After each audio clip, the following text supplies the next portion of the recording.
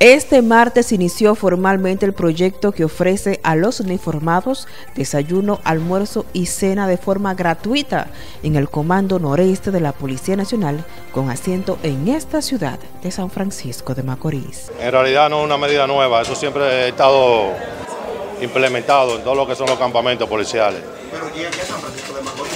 Sí, por la iniciativa del señor director general de la policía y director regional, general de Brigada Horizon Olivense Minaya. Eh, sentimos la preocupación de que el personal aquí no estaba eh, en unas condiciones lo, lo, más apropiadas para ejercer el servicio, entonces implementamos aquí lo que es la mesa, el comedor. ¿Qué se busca con esto entonces?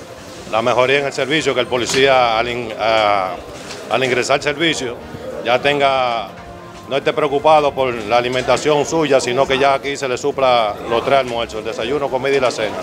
Así puede desempeñar una mejor función para mejorar el servicio en favor de la ciudadanía. ¿Esto es totalmente gratis para los agentes?